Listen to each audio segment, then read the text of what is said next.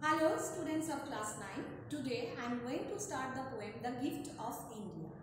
So you can uh, have an idea means it is a very patriotic poem and uh, as it describes the loss of the brave Indian soldiers during the battle of World War One and it also narrates a story how the British administration employed the Indian soldiers to take part in World War One and how they were mercilessly killed and how they were buried in different foreign lands.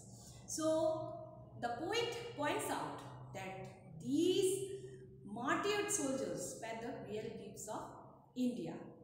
So the uh, poem here, here you will see that the poet Sarojini Naidu has personified Mother India and speaks in her voice. Is there aught you need that my hands withhold? Rich gifts of raiment or grain or gold. Lo, I have flung to the east and the west, priceless treasures torn from my breast. Now, the question means it is a question which Mother India asks. He, she asks, what does the people of, or what did the people of the world think? That is there anything they need that her hands have?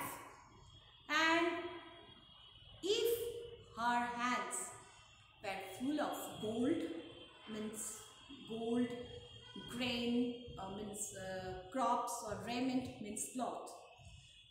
I have flung to the east and the west priceless treasures torn from my waist.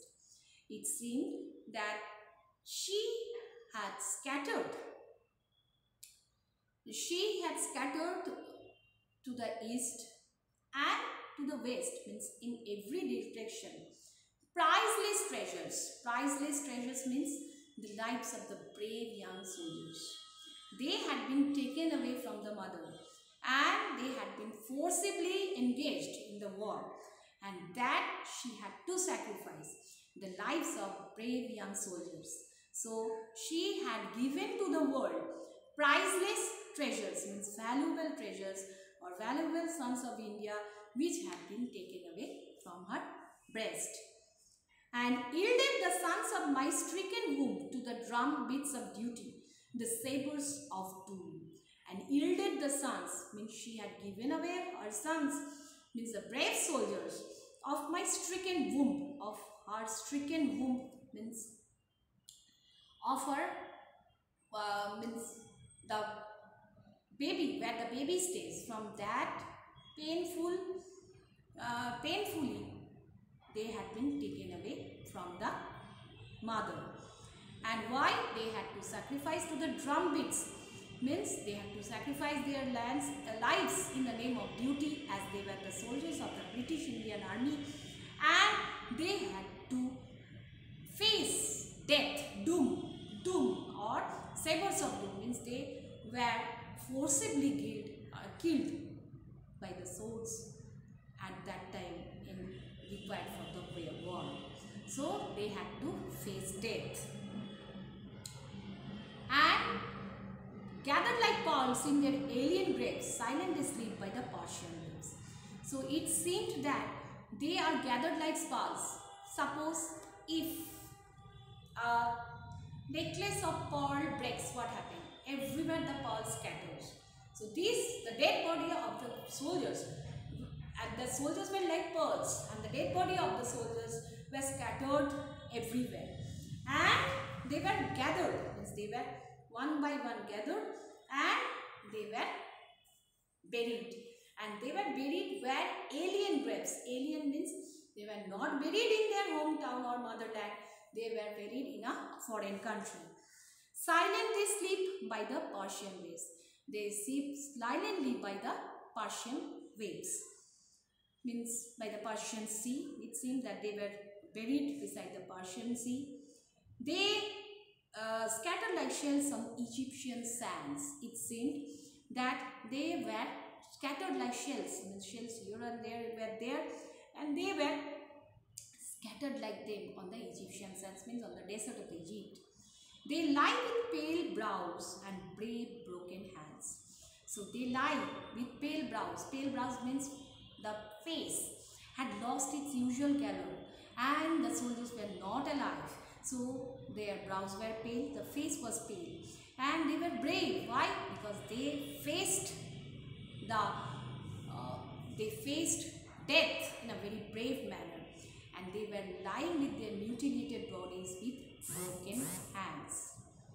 They are strewn like blossoms mown down by chance on the blood-brown meadows of Flanders and France. Those seemed strewn, strewn like blossoms means they, it seemed they were like a in a garland.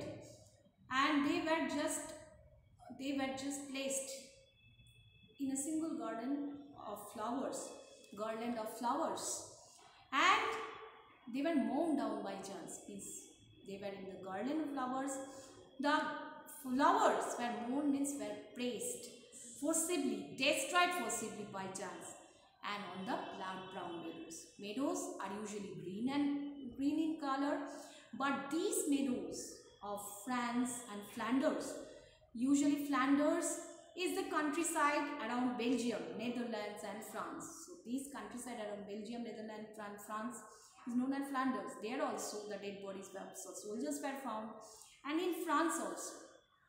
And the, the meadows of those fields of the countryside had turned into blood brown. Why?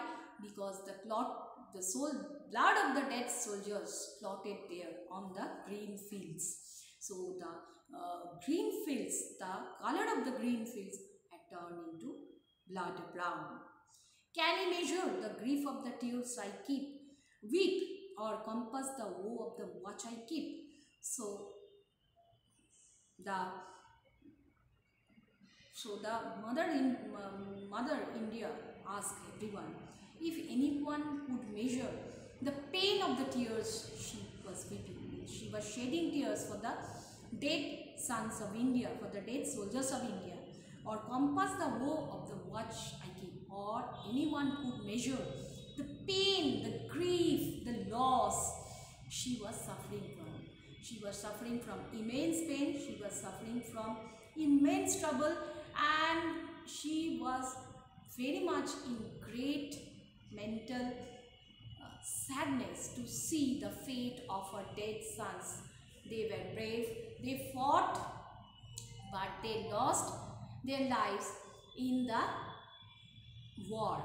And they had to uh, be scattered like Persian waves like Egyptian sands. And they had they were buried around the Flanders and France and uh, uh, Flanders and France. And they were dead.